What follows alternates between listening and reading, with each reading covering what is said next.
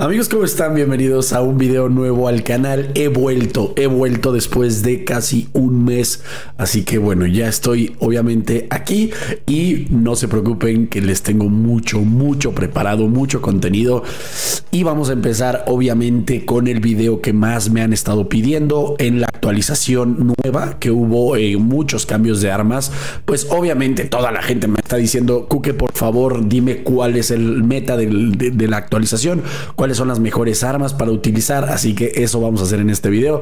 Les traigo el nuevo meta de Warzone. He estado haciendo directos todos los días por Twitch. Así que si quieren ir a platicar ahí, estoy como Cooker Ruesga oficial. Ahí estoy platicando y ahí les cuento un poquito del por qué me fui este mes. Así que bueno, si quieren ir al chisme, pues ya saben, todos los días estoy haciendo directo a partir de las 6, 7 de la tarde, hora México, ¿ok?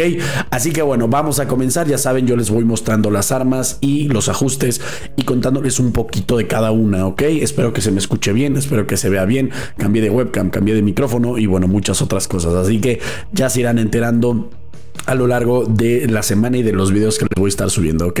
Así que vamos a comenzar primero, eh, bueno, con una clase que es la que más he estado utilizando yo, eh, es la que más, por así decirlo, eh, pues pues sí, en la que más he estado confiando y es la TR76 Geist y la ISO de 9 milímetros, que la ISO de 9 milímetros normalmente no la utilizo con esta arma, pero es el mejor subfusil. Ahorita primero vamos a hablar de la TR76 Geist, que la verdad es que como les digo es un arma fácil de utilizar, es un arma muy, eh, llamémosle, pues confiable. En general es un arma que, a ver, no pega durísimo, no es el máximo daño del mundo, pero se siente muy, muy cómoda. La verdad es que, a ver, no es el mejor eh, arma principal, pero ahorita les voy a mostrar cuál es el mejor.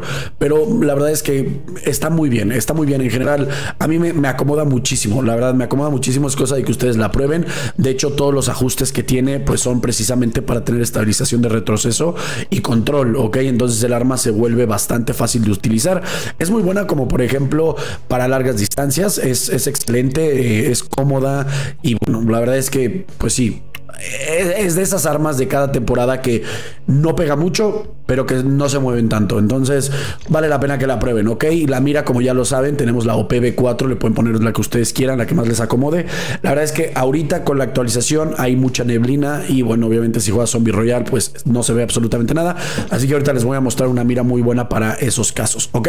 Como les digo, excelentemente buena y fácil de utilizar. No se mueve prácticamente nada muy cómoda. La verdad es muy, muy cómoda. Y como les digo, la traigo con la ISO de 9 milímetros. A ver, la ISO de 9 milímetros, la verdad es que yo no la he estado usando porque pues ni siquiera la he desbloqueado. Estoy a punto de desbloquearla. Como les digo, no había jugado en mucho tiempo, así que bueno, pues la estoy desbloqueando ya. Pero tenemos obviamente pues que traerla porque es el mejor subfusil que hay ahorita en el juego. Sin duda alguna es el, arma que mejor prestaciones tiene, que mejor daño tiene, que apunta más rápido, que a ver, en general es el mejor subfusil y bueno pues ahí está, ¿no? Entonces esta es la clase que se utiliza la verdad es que sí la probé y, me llevó una sorpresa. La verdad, el día de ayer estuve jugando con ella también, probándola en otra cuenta y la verdad es que sí está excelentemente buena.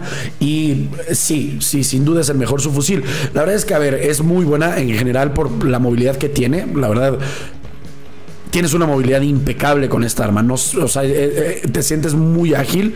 Además de que apunta bastante rápido. Aquí lo pueden ver, apunta bastante rápido. Y el retroceso, la verdad es que. Es muy fácil de controlar. El arma prácticamente no se mueve nada. Tenemos un tambor de 50 balas, lo cual lo hace bastante bueno. Aquí voy a disparar para que vean un poquito el retroceso sin controlarlo, ¿vale? No voy a tocar el joystick para que vean un poquito. Prácticamente es una línea hacia arriba a la derecha. Entonces, si nosotros bajamos el joystick hacia la izquierda, pues lo que vamos a hacer es contrarrestarlo. Y lo vamos a poder controlar perfectamente bien, ¿ok? Así que bueno, ISO 9 milímetros, pues sí, la verdad es que es lo mejor que hay, ¿ok? Mejor su fusil actualmente. Y pasamos con otra clase, otra clase. Ya saben que ustedes pueden combinar las armas principales con las armas secundarias que ustedes quieran. Nada más les doy las ideas y como yo las utilizo, pero ustedes pueden poner lo que ustedes quieran. Pero bueno, pasamos con la TAC V, que la verdad es que a mí en lo personal se me hace la mejor arma para la isla eh, si quieres jugar agresivo. y la VAS P. La VAS P, para mi gusto, es increíble, de verdad es un subfusil que ahorita es que se siente muy cómodo y van a ver la velocidad que tiene de apuntar, es una locura. Pero la TAC V, vamos a ver, esta clase no tiene mira, a mí me gusta utilizarla así, me gusta utilizarla así porque yo la utilizo como les dije, agresivo. A mí no me gusta estar en la isla y eso, estar disparando a muy largas distancias. De hecho, yo normalmente cuando veo a un enemigo lejos, la verdad es prefiero no dispararle y acercarme. Entonces, es mi manera de jugar. Ustedes quieren, si la quieren utilizar para largas distancias, yo les recomendaría que le quiten la empuñadura y que le pongan la mira que ustedes quieran. Pero bueno, en general, a mí me encanta de esta manera. De verdad es un arma comodísima. Y bueno, tenemos el la boca de cañón BOR 490, perdón, que bueno, estabilización y control, lo mismo. Vamos a tener un arma que no se va a mover nada, es un arma muy fácil de utilizar y bueno, teniendo en cuenta que no tiene mira, pues el retroceso visual es menor aún. Entonces, la verdad es, eso es muy cómodo, ¿no? Y tenemos la F-Tac Reaper de acople, tenemos calibre de alta velocidad, ¿ok? Eh, munición de alta velocidad es básico en esta clase. La verdad es que sí se siente muchísimo más el daño y se siente mucho más el alcance. Y bueno, la verdad es que tienen que ponerlo sí o sí, ¿ok?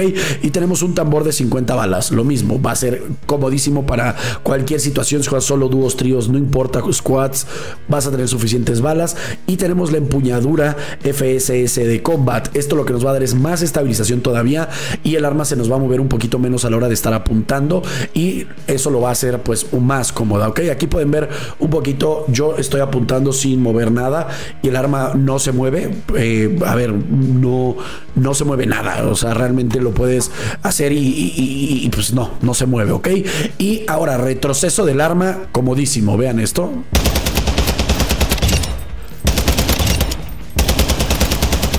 Es comodísima. Entonces la puedes utilizar para medianas y para cortas y un poco para largas sin ningún problema. El arma te va a dejar ver bien. Si sale un poco de humo, la verdad, si quieres quitarle un poquito de humo a la hora de disparar te recomendaría que le pongas un silenciador, pero bueno, a mí me gusta de esta manera y pues por eso se las traje así. Así que bueno, es un arma con un daño impecable, tiene un daño altísimo y vale mucho la pena, ¿ok? Y tenemos su fusil, la VAS-P. La VAS-P es para mi gusto, para mi gusto, no es el mejor subfusil, pero es el más cómodo para mí, ¿ok? Es el que más me acomoda a mí, es el que más me gusta utilizar a mí actualmente. Tenemos un tambor de 50 balas, tenemos la boca de cañón, el supresor de destello, que es el espiral. Esto nos va a ayudar muchísimo a tener la fluidez de retroceso y el arma se va a mover menos, ¿ok? A la hora de estar disparando, la verdad es que es comodísimo.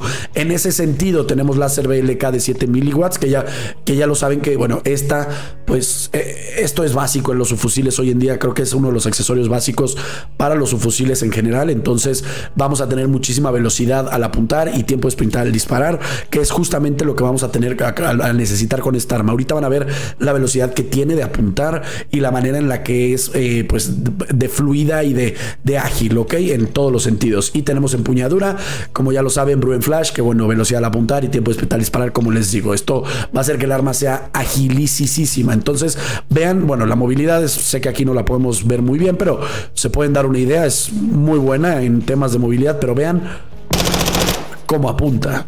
Si yo estoy corriendo a punto y disparo, es una locura, de verdad.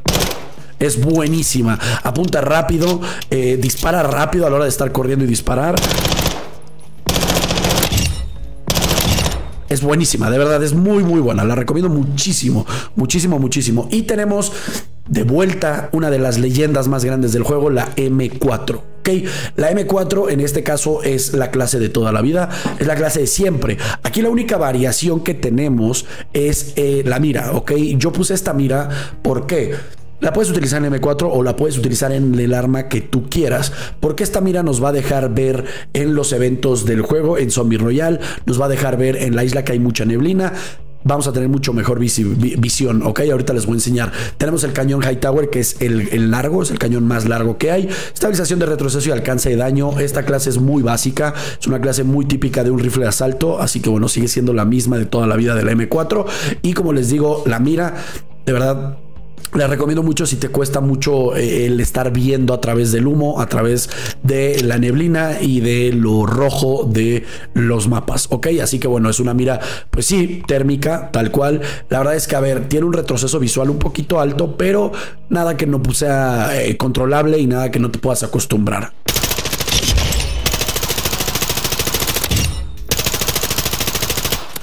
Bueno, fallo muchas balas, pero bueno, denme chance. Y bueno, y tenemos en este caso con la ISO 45. La ISO 45 sigue muy bien. Es un subfusil que está bastante, está mejor la 9 milímetros, pero la ISO 45 sin duda está entre el top 5 subfusiles, top 5 armas secundarias. Así que bueno, la vamos a poner también. Tenemos la boca de cañón con lockshot, ok, control de retroceso y velocidad al apuntar con la mira. La verdad es que va muy, muy bien.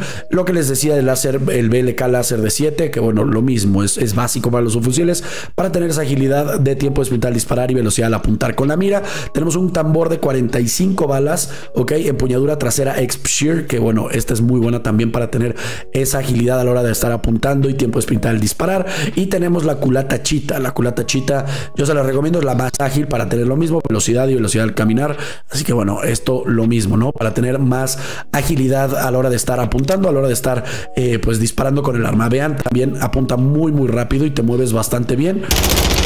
Y esta sí, retroceso visual y también eh, en cuanto a visibilidad a la hora de disparar, el humo y demás, esta es muy buena porque se ve muy bien, muy bien. Si es un subfusil que tengas buena visibilidad a la hora de estar disparando, esta es muy buena para eso. Miren. La verdad es que se ve perfectamente bien a qué le estás disparando, ¿ok? Y tenemos ahora sí otra clase con la Tempus Razorback. La verdad es que esta es actualmente el mejor eh, fusil, por así decirlo. Es la mejor arma principal. La verdad es que esta es el meta absoluto en cuanto a rifles de asalto. Entonces es la que más rápido, bueno, a ver, es la que tiene mejor time to kill actualmente y es la que más cómoda se siente. Además no se mueve nada. Entonces, pues sí, la gente es la que está utilizando y, y la verdad no los, no los culpo. Está muy bien. La verdad es un arma que está muy cómoda actualmente. Muy, muy, muy cómoda. Si tú quieres el meta absoluto, ¿cuál es el mejor fusil de asalto? Pues bueno, es este, el Razorback, ¿ok? Así que bueno, me voy a apurar porque ya llevo mucho. Bell 46, pues es la MP7 de toda la vida. Esta es la clase que yo utilizo. La verdad es que es muy cómoda. Tenemos munición de punta hueca. Pues bueno, aquí ya les voy a mostrar un poquito rápido todas las cosas. Culata Demo RXT. La verdad es que esta, en general, este subfusil es muy cómodo y es muy, muy básico también para eh, si quieres un subfusil confiable, un subfusil que no esté algo raro o que ya tenga subido nivel, seguramente pues utiliza esta MP7 que va muy, muy cómoda, ¿ok? Así que la Razorback, vean esto, la verdad es que el retroceso es muy fácil. Es exageradamente fácil, el arma no se mueve nada, realmente es es una locura. Eso es un láser, es un láser completamente. Voy a disparar a la puerta para que vea el retroceso sin controlarlo, ¿vale?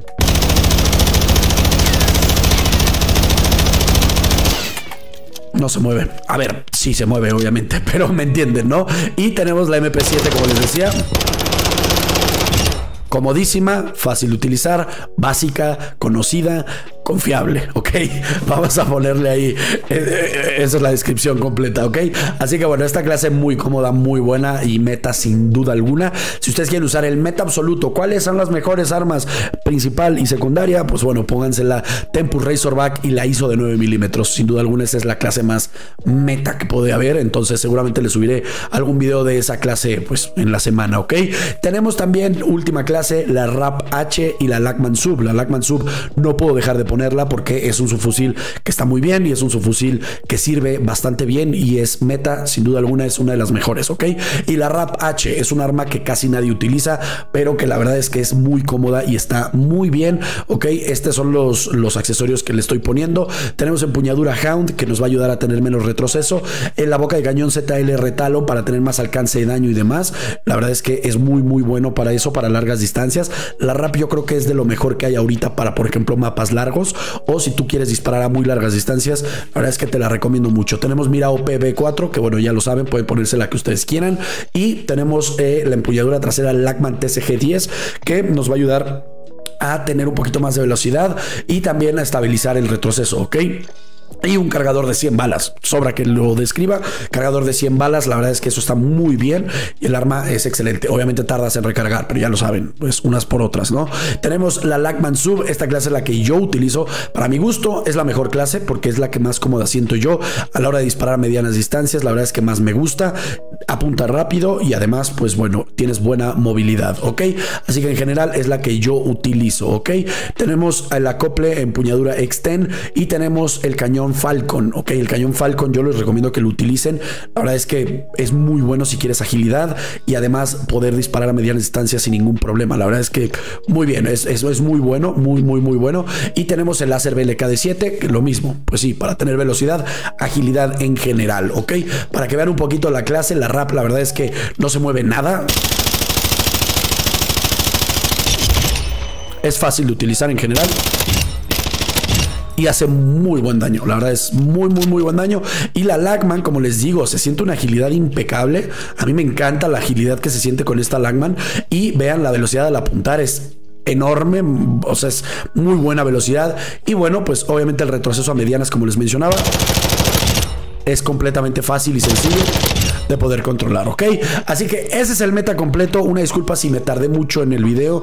La verdad es que estoy descanchado, estoy un poco oxidado. Ya no me acuerdo cómo grabar videos. Así que bueno, si quieren saber por qué me fui y demás, pues ya les contaré en algún momento debido. Pero bueno, todo bien, todo excelente. Estoy muy contento de estar de regreso, muy feliz. Me moría de ganas de hacer videos, me moría de ganas de subir videos, de hacer streams. Así que bueno, esperen mucho contenido y nos vemos el día de mañana en el siguiente video. Les mando un abrazo. Espero que todo haya salido bien, que se escuche bien, que se vea bien. Así que nada, nos vemos mañana y que estén muy bien. Adiós.